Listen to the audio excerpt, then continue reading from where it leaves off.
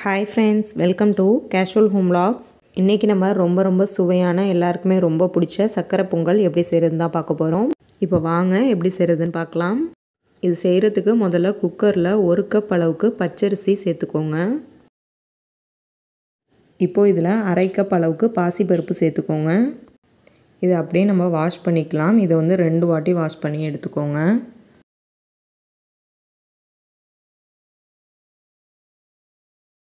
இப்போ அரிசியும் பருப்பையும் ஒன்றாவே சேர்த்து நான் ரெண்டு தடவை வாஷ் பண்ணி எடுத்திருக்கேன். இப்போது நம்ம எந்த கப்பால் அரிசியும் பருப்பும் அளந்தோமோ அதே கப்பால் மூன்றரை கப் அளவுக்கு தண்ணி சேர்த்துக்கோங்க.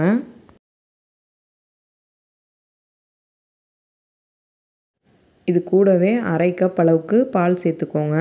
இப்போ அடுப்பு ஆன் பண்ணிவிட்டு குக்கர் அடுப்பில் ஏற்றிக்கோங்க இப்போ வந்து இதில் சும்மா ஒரு சிட்டிகை அளவுக்கு உப்பு சேர்த்துக்கோங்க.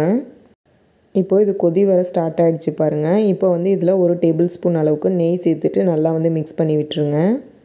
இப்போ நல்லாவே கொதி வர ஆரம்பிச்சிச்சு. இந்த ஸ்டேஜில் வந்து குக்கரை மூடிக்கோங்க.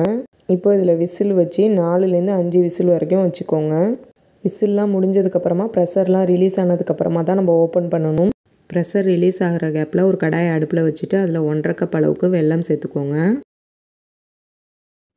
இப்போ இது கூடவே ரெண்டு மூணு ஏலக்காவை தட்டி சேர்த்துக்கோங்க. இப்போது இதில் ஒரு கப் அளவுக்கு தண்ணி சேர்த்துக்கோங்க. அடுப்பை ஹை ஃப்ளேமில் வச்சு நல்லா வெள்ளத்தை கரைச்சி எடுத்துக்கோங்க. இதுக்கு பாகுபதம்லாம் தேவை கிடையாது. ஜஸ்ட் அந்த வெள்ளம்லாம் நல்லா கரைஞ்சி ஒரு தடவை கொதி வந்தாலே போதும்.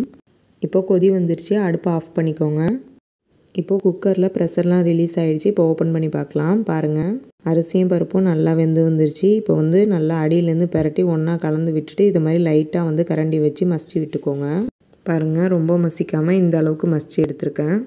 இப்போது இதில் நம்ம கரைச்சி வச்சுருக்க வெள்ளத்தை வடிகட்டி வச்சு வடிகட்டி சேர்த்துக்கோங்க.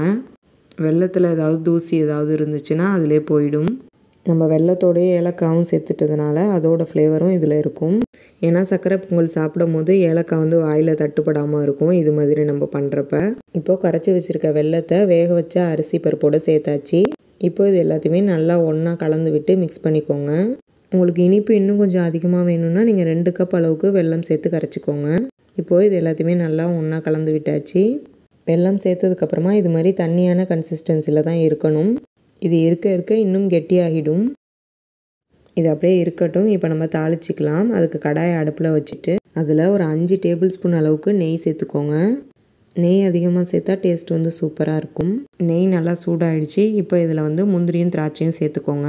முந்திரி திராட்சை தாளிக்கும் போது அடுப்பை மீடியம் ஃப்ளேமில் வச்சுக்கோங்க. இப்போது முந்திரியும் திராட்சையும் நெய்லேயே நல்லா ஃப்ரை ஆகிடுச்சி இப்போ அடுப்பை ஆஃப் பண்ணிவிட்டு இதை அப்படியே சர்க்கரை பொங்கலில் சேர்த்துக்கோங்க.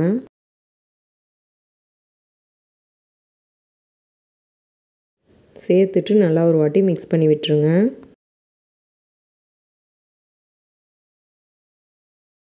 அவ்வளோதான் ரொம்ப ரொம்ப சுவையான சர்க்கரை பொங்கல் சூப்பராக ரெடி ஆகிடுச்சு பார்க்கவே எவ்வளோ சூப்பராக இருக்குது பாருங்கள் டேஸ்ட்டும் அட்டகாசமாக இருக்கும். நீங்களும் இதே மெத்தடில் வீட்டில் ட்ரை பண்ணி பார்த்துட்டு எப்படி வந்துச்சுன்னு கமெண்ட்டில் சொல்லுங்கள் இந்த ரெசிபி உங்களுக்கு பிடிச்சிருந்துச்சுன்னா லைக் பண்ணுங்கள் உங்கள் ஃப்ரெண்ட்ஸ் அண்ட் ஃபேமிலிக்கும் மறக்காமல் ஷேர் பண்ணிக்கோங்க.